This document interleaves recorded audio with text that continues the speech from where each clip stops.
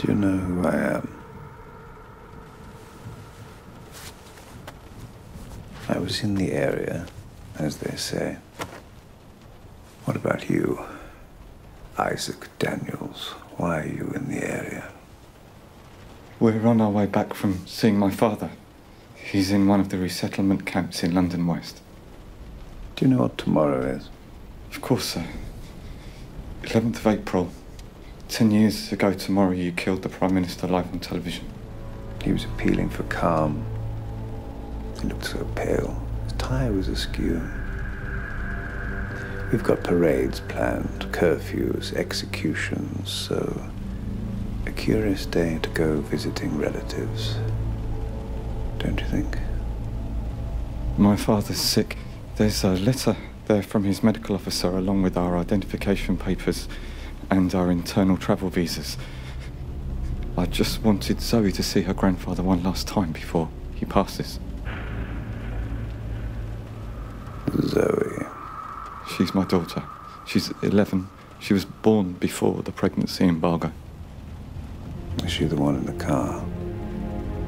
She looks exhausted. Poor puppet. It's been a long day.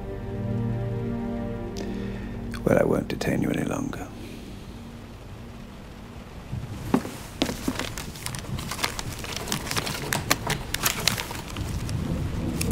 Oh, one last question. Your daughter. What color are her eyes?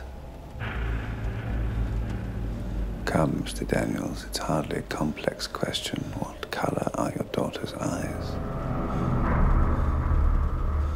You don't remember, do you? I dare say when the other agent handed her over with her fake papers, you looked her up and down and thought, is this what all the fuss is about? This is the war child. But the one thing you didn't take in was the color of her eyes. And now, of course, you're thinking that you've taken too long to reply, and so instead, you're calculating the chances of fighting your way out and which of us to disable first.